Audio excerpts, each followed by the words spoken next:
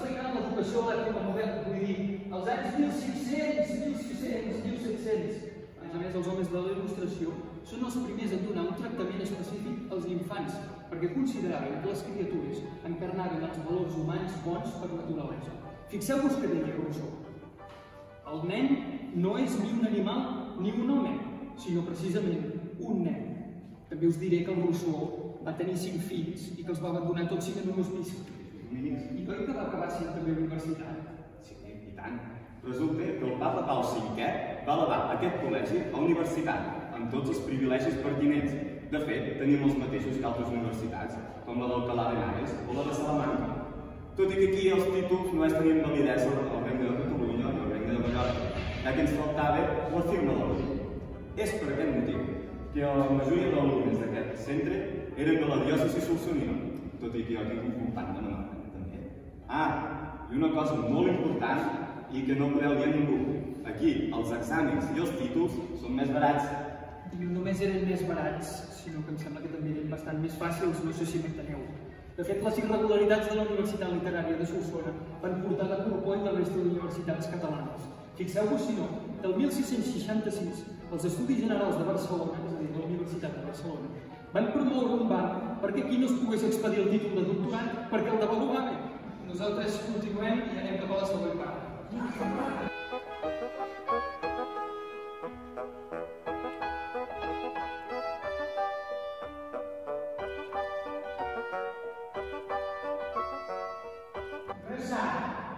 Però si tot just acabem de fer les vespres.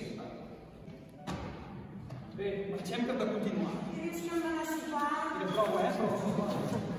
Prou. Paciència, sisplau, per molt que no t'ho sembli. Aquest espai on som ens va molt bé per explicar un parell d'anècdotes relacionades amb la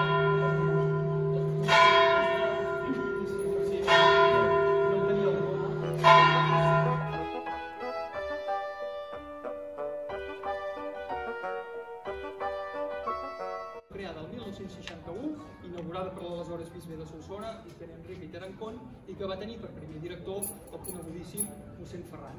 Però l'escola res no em dius que va sortir. Ah, espera, això no us ho he comentat. Mireu, sí, ara ens haurem d'apartar, eh?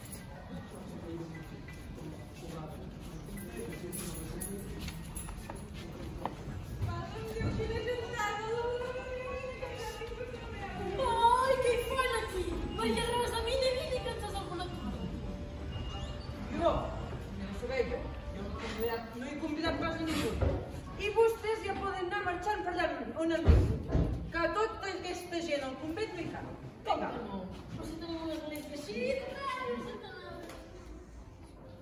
Però qui sou? Que desperteu la gent del nostre convent. Com que qui som nosaltres? Qui som vosaltres? No pots enganyar d'aquesta manera, eh? Que som el 1968. Vés a saber on serem d'aquí més de 50 anys. Vinga, nen. Qui dia passa, any en vent. Creus a Solsona alguna institució que tingués cura de la població infantil femenina. Atrevessades les diferents vicissituds de la, de la primera meitat del segle XVIII, es va decidir que aquesta tasca recaigués en mans d'una secció de la Companyia de Maria, que era un orde religiós femení fundat el 1606 a Bordeus per Joana de l'Estonat i que estava especialitzat en l'educació femenina.